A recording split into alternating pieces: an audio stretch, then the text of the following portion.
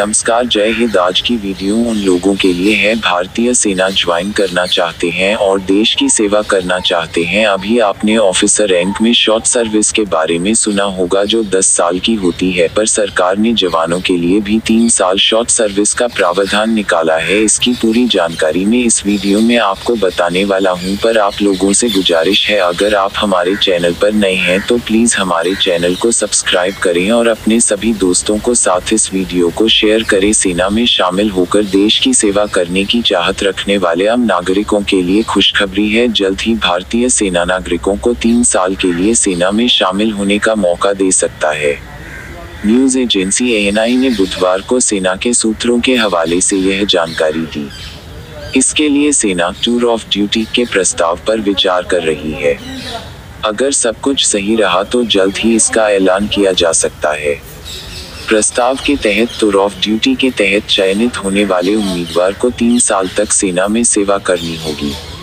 प्रस्ताव के बारे में अधिक जानकारी आना अभी बाकी है।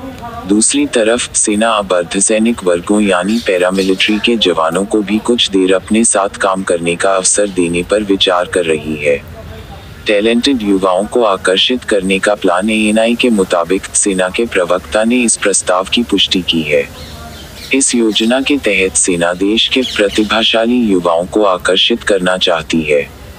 इस योजना के ज़रिए वे युवा भी सेना में शामिल हो जाएँगे, जो किसी कारण से पहले ज्वाइन नहीं कर पाए थे। भारतीय सेना में अभी भी अच्छे अधिकारियों की काफ़ी कमी है। सेना इस योजना के तहत इस कमी को पूरा करना चाहती है।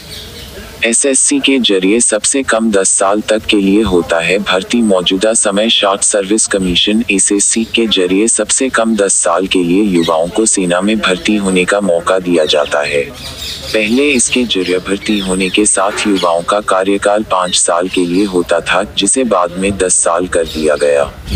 अर्धसैनिक बलों के जवान भी संयुक्ताइन कर सकते हैं। आर्मी सेना इस बात पर भी विचार कर रही है कि अर्धसैनिक बलों के जवानों को भी कुछ समय के लिए सेना में काम करने का मौका दिया जाएगा।